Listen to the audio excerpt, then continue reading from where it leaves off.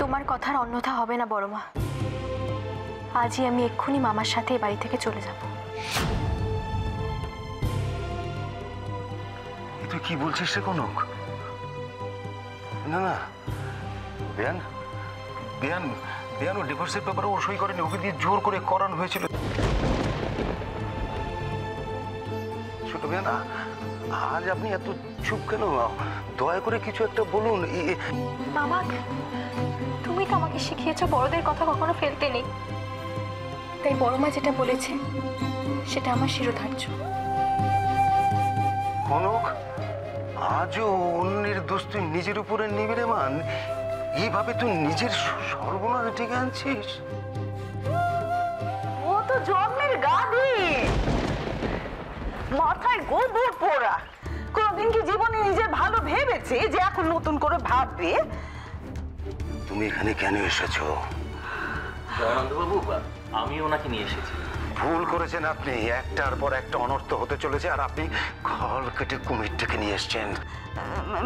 বিশ্বাস করো আমি লজ্জা শরমের বালাই ভুলে তোমার তোমার জন্য এসেছি গো। আর এসে দেখেছি যে মেয়েটা মেয়েটাকে নিয়ে হ্যাঁ রে কনক কনক রে। তোর এই দুর্দশার ভাগিদার তো আমি রে মা। কিন্তু বিশ্বাস কর সেটা বোঝার পর আমি মরমে মরেছি। দেবু যে এত বড় শয়তান আমি টেরই পাইনি কো মিথ্যা কথা বলো না জিপটা খসে পড়বে এবার তোমার।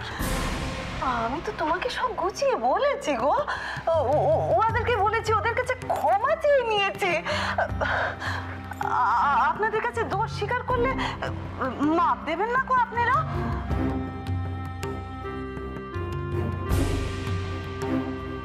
অভিনয় করছে নাকি? সত্যি সত্যি এসব করছে? যাই হোক শাশুড়ি যখন কাজের কাজ করছে তখন মা এসব করে সেটা খেতে দিলেই মুশকিল। যেভাবেই হোক থামাতে হবে। মা ও মা তুমি শান্ত হও এত উত্তেজিত হয়েও না মা।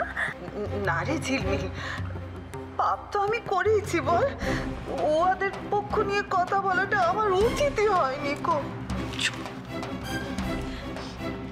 নির্মলা এবার তোমার শান্তি হয়েছে তো? কনকের মামা মামি নিজের মতো করে সবটা বলেছেন।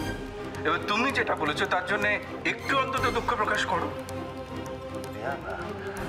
আমি আমি বিয়ানের কোনো দোষ দেখতে পাচ্ছি না বিয়াই। উনি বুঝতে একটু ভুল করেছিলেন কিন্তু এর বিহিত আমি করব আজ।